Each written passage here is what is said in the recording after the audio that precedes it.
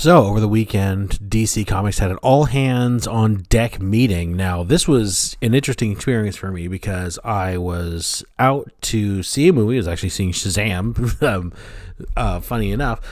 But as I was waiting for the theater to start, I bring up my phone and I got this alert from Bleeding Cool, which is the source of this story, uh, that there's an all hands meeting happening at DC Comics right now. So, this is being uh, reported as it was happening. So this is the first update I saw. And it says, uh, just as Marvel is tapping the wires for X Men 60th anniversary video, event about to go live on Zoom uh, for Marvel Limited subscribers, Bleeding Cool gets the word that there's another kind of Zoom meeting going on over from the Warner Brothers Burbank headquarters, an all hands meeting of DC Comics staffers and freelancers. Normally, this isn't great news and usually means that lots of people are about to get fired, but DC Comics has been on a roll as of late. James Gunn is popping by to G up the troops. Well, uh, that can't be a good thing, right? So that was like the the update.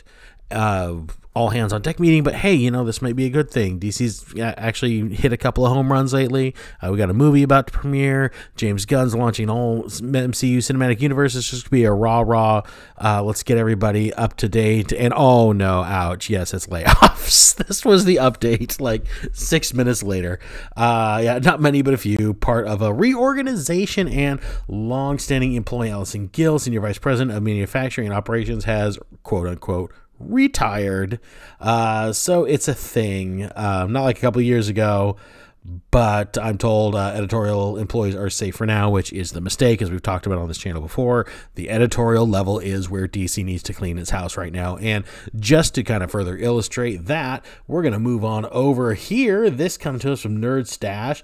DC's Batgirls and Tim Drake's Robins ended. Yes, Tim Drake Robin, sadly, is canceled, as is Batgirls, which was not a book that I even really paid attention to.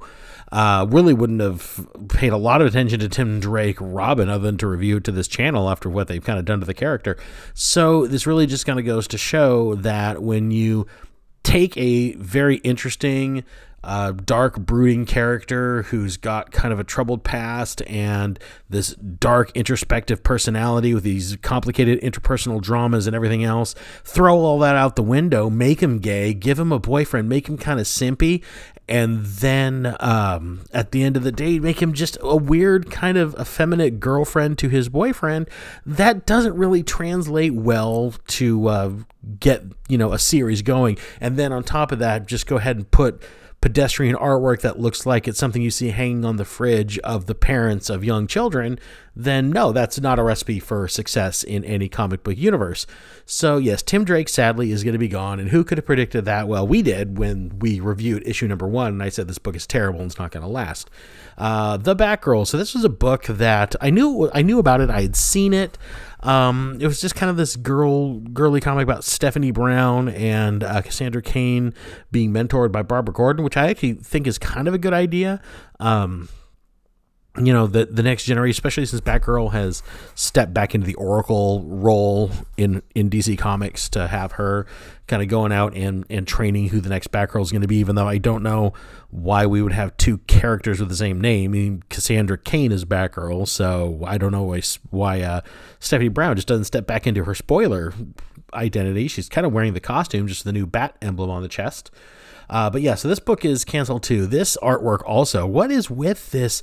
DC house style they're trying to do. It's it's kind of like Skottie Young's cartoony style, but without any of the weird kind of gothic creepiness that that can you know go in there. That Death to Fairyland type story or type uh, art style, which works for Death in Fairyland or Death to Fairyland, and it worked really well for um, the Me You Love in the Dark and books like that.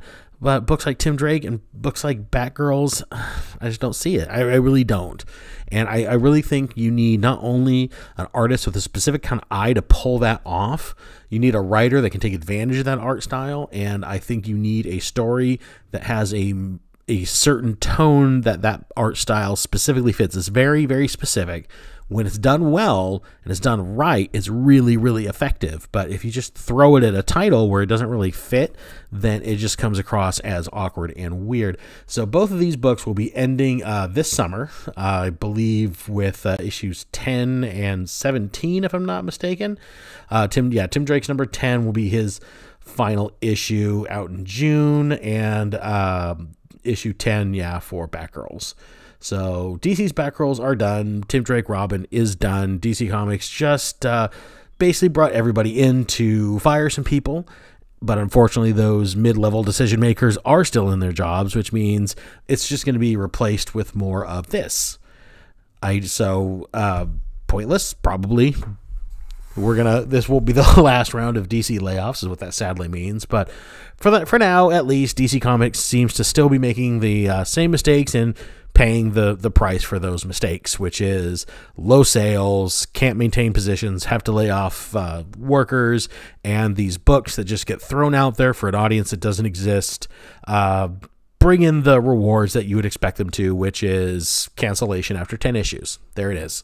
That's the end of that. So, are you going to miss Tim Drake Robin solo series? Um, I loved Tim Drake Robin series in the 90s. I, th- I thought it was a great, great comic.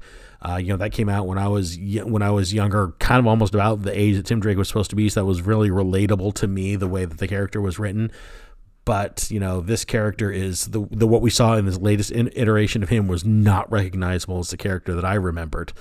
And uh, yeah, a little too far, a little too much of a departure.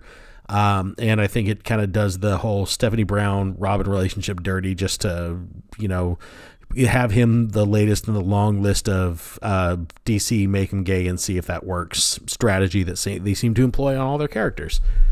Uh, but yeah, that's it. Let's talk about the comments below. While you're down there, please do all the usual stuff. Hit like, subscribe to the channel if you're not already a subscriber.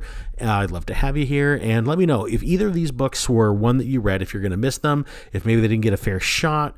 Uh, let's talk about that in the comments below. And I'll see you on the next video. Bye.